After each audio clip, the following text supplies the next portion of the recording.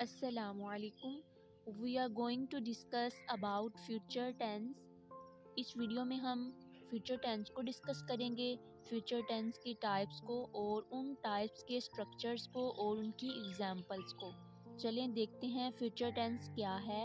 Any action that is schedule to happen in future comes under the agenda of future tense कोई भी काम जो future में होना हो, वो फ्यूचर टेंस में आता है। इसकी टाइप्स देखते हैं।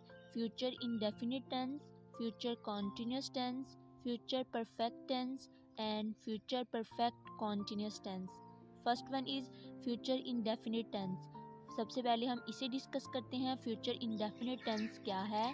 Future indefinite tense is use when an action is thought to occur in future यानी कोई भी ऐसा काम जो फ्यूचर में होने वाला हो, वो फ्यूचर इंडेफिनिट टेंस में आएगा। उसका स्ट्रक्चर क्या है? सबसे पहले सब्जेक्ट आता है प्लस विल या शेल दोनों में से एक आता है प्लस वर्ब आता है प्लस ऑब्जेक्ट ठीक है? एग्ज़ाम्पल इसकी देखते हैं we shall move to another city यानी हम किसी दूसरे सिटी शहर में जाएँगे। ये काम फ्यूचर में होने वाला है, इसलिए इसे फ्यूचर इंडेफिनिट बोलेंगे। जो आपको स्ट्रक्चर बताया है, उसी के अकॉर्डिंग उसकी एग्ज़ाम्पल है नोट करें। स्ट्रक्चर में सबसे पहले सब्जेक्ट था तो एग्ज़ाम्पल में वी यूज़ किया है। स्ट्रक्चर में विल और शेल था, उसके बाद देन एग्ज़ाम्पल में वी के बाद शेल यूज़ किया है।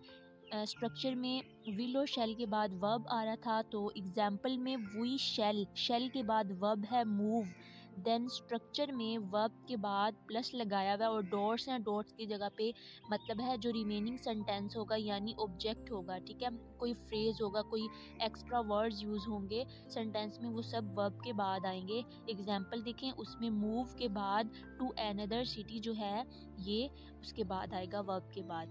सेकंड है future continuous tense Future continuous tense is used when an action is promised to be going on at a specific time in future.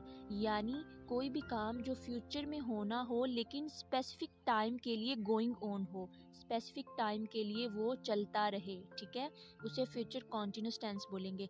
इसके स्ट्रक्चर में देखें, सबसे पहले सब्जेक्ट आएगा प्लस विल और शेल दोनों में से एक आएगा प्लस बी आएगा plus verb plus I N G plus object और रिमेनिंग सेंटेंस ठीक है? इसी के स्ट्रक्चर के अकॉर्डिंग इसकी एग्ज़ाम्पल देखते हैं। I shall be sleeping at around six A M tomorrow structure में सबसे पहले सब सब्जेक्ट था तो एग्ज़ाम्पल में आई यूज़ हुआ स्ट्रक्चर में विल और शेल था। एग्ज़ाम्पल में शेल यूज़ हुआ स्ट्रक्चर में बी था। एग्ज़ाम्पल में बी यूज़ हुआ स्ट्रक्चर में बी के बाद वर्ब था तो एग्ज़ाम्पल में वर्ब यूज़ हुआ स्लीप एंड स्ट्रक्चर में verb plus I N G बोला था तो एग्ज़ाम्पल में स्लीप के साथ आई एन जी लगा के स्लीपिंग हो गया। और स्ट्रक्चर में आई एन जी के बाद रिमेनिंग सेंटेंस और ऑब्जेक्ट था तो एग्ज़ाम्पल में रिमेनिंग सेंटेंस आ जाएगा।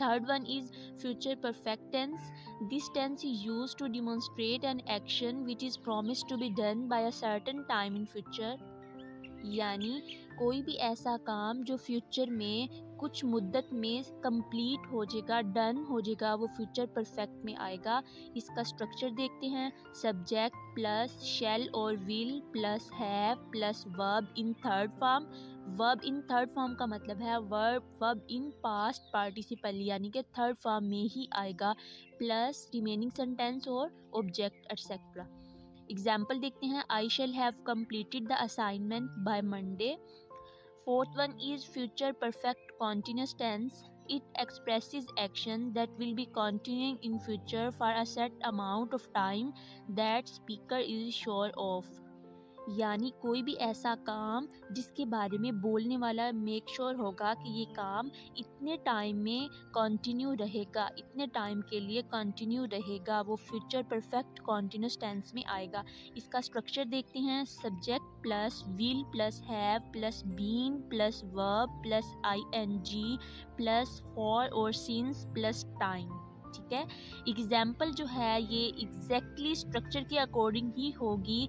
देखें we will have been basking in the afternoon sun for whole winter इसके जो मेन डिफरेंस है, इन इन चारों टाइप्स का, वो ये है कि फ्यूचर फ्यूचर टेंस मेनली ये है कि कोई की भी काम जो फ्यूचर में होने वाला हो, ठीक है? लेकिन इनडेफिनिट कॉन्टीन्यूस परफेक्ट और परफेक्ट कॉन्टीन्यूस में मेन डिफरेंस ये है कि इंडेफिनिट में कोई भी काम जो फ्यूचर में होने वाला हो उसके लिए कोई भी लिमिटिंग टाइम नहीं है कि इतने देर के लिए हो कैसे हो ठीक है? बस फ्यूचर में होने वाला हो। फ्यूचर कॉन्टीन्यूस टेंस के लिए कि कोई भी काम जो फ्यूचर में आ, कुछ टाइम के लिए चलता रहे ठीक है? और फ्यूचर परफेक्ट का मतलब है कि कोई भी काम जो फ्यूचर में डन हो, कंप्लीट हो जाए, ठीक है? परफेक्ट यानी कंप्लीट हो जाए। और फ्यूचर परफेक्ट कॉन्टीन्यूस का मतलब है कोई भी काम जो कुछ टाइम के लिए चले और फिर कंप्लीट हो जाए, ठीक है?